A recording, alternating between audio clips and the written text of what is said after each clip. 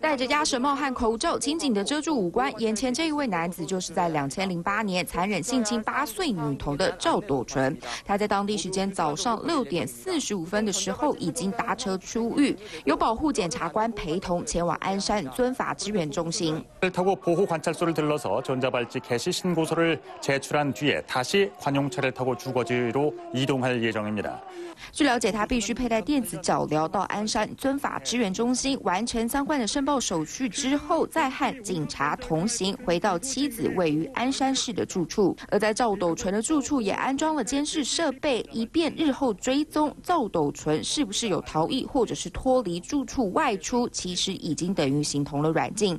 而就在首尔南部监狱外围，也有许多愤怒的民众到场抗议。毕竟赵斗淳的恶行，人神共愤。而赵斗淳搬家之后，距离他新家最近的幼稚园只有短短的七十公尺，让附近的住户不寒而栗。整个鞍山市现在是人心惶惶，而搬了家的被害者也相当害怕，在路上再一次遇到赵斗淳，等于每一天都活在恐惧当中。